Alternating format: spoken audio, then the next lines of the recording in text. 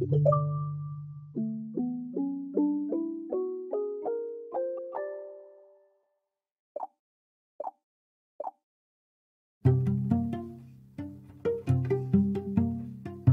height of Mount Everest was originally worked out using a piece of mathematics that you have studied in very great detail with me on this course. What mathematics was used to work out the height of Mount Everest? Uh, Ibrahim, thank you. Was it trigonometry? Perfect. Yeah, trigonometry. You're going to do the same calculation to work out the height of the mountain that I'm currently on. Now, let me just remove my virtual background. There you go. So you get a view behind me. We're looking all the way out over Wales and then England. The total view is, yeah, it's about 100 miles we can see from up here, actually. About 100 miles. Welcome to the lesson.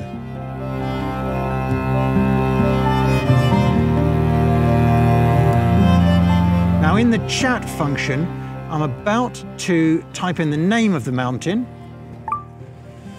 Okay, so you've all received a chat with the name of the mountain. I would like you to identify that mountain uh, in Google Maps and tell me which country it is in. Okay, I'll give you a minute to do that. Keep Google Maps open because you'll need it for the next task.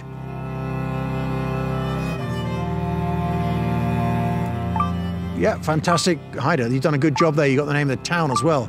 Yep, that's super, Ayana. Congratulations. Okay, that's great. Well done. So, um, next question. This mountain, Pen y Fan, Welsh name Pen y Fan. Next question is there is a town roughly 10 kilometers north of me. Post a chat. What is the name of that town?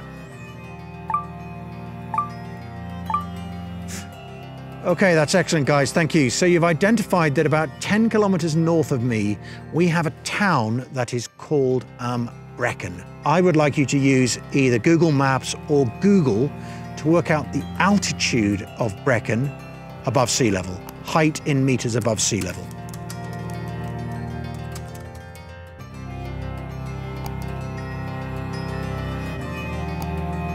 Okay, Let's work out uh, what you have to do. So this is the picture of Mount Everest that we introduced for the lesson.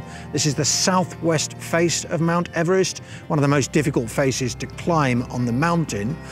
And as Ibrahim said, the way the height of Mount Everest was calculated were using trigonometry. Surveyors used trigonometry originally to work out the height of the mountain. So let me show you how it works. This is actually one of the original surveying diagrams that was drawn for the surveyors to work out the height of Mount Everest. Essentially, if we imagine we're standing here at point one, the top of the mountain is here at point B, we've got an angle alpha. This is the angle of elevation, the angle above the horizontal, okay? Let's say we can measure the length d, the horizontal distance from our position to the mountain.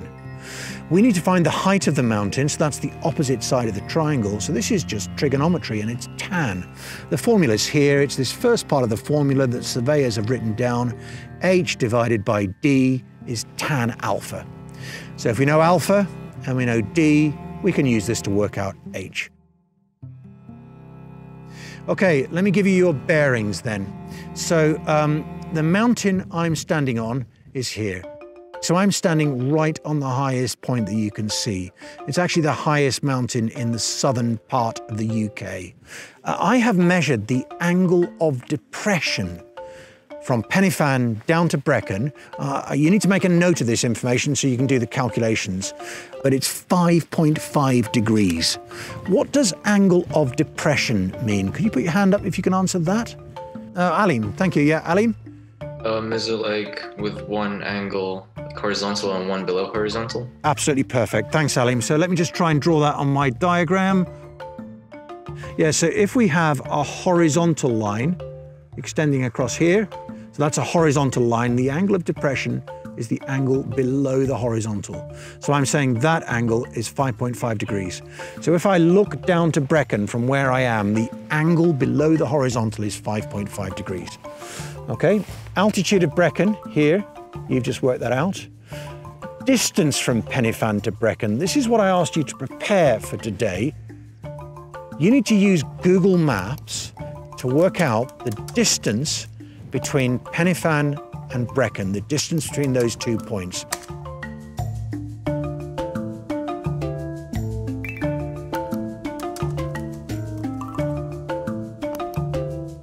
So what I'm saying to you is now that you know the angle of depression, 5.5 degrees, and you know the altitude of Brecon, you know the distance from Pen y Fan to Brecon, you should now be able to work out the height of Pen y Fan. Ah, well done, Haider. That's good. That's pretty accurate. Well done. Yeah, Alim, excellent. Well done. Yep, thanks, Hashim. That's excellent. Well corrected. And thank you, Uzair. That's um, very close. Um, Sitsi, thank you. That's excellent. Thanks, Monato. Yep. There are a whole bunch of these that are really accurate. This is very impressive work. Let me share my screen again and show you the data that we've collected. So if we have a look at your values, it's the last column that's important. Those are your estimates of the height of the mountain in meters above sea level, Pen y Fan. Now, uh, a quick question for you, an easy question for you based on the statistics we've studied. What would be a good calculation to do with that set of values? What do you suggest? So what would be a Uh, good the way mean? to sum? Yeah, exactly, Alan. We'll use the mean to see how good your estimate is. So we're using Excel here. What is the Excel function that calculates the mean? Is it, is it just average? It is, yeah, it's just called average. It's not called mean, it's called average. So if I do average and get these cells, 878.25 meters. Um, what is the actual height of Pen Fan? Some of you had looked that up earlier, I think. Um, 886. That's right. So the actual height is 886. So uh, I will give you a minute to calculate the percentage error in our answer. Okay. Um, who's got a percentage error from that, roughly? They got 0.871. 0.87. Okay, so we got less than 1% error. That's absolutely fantastic.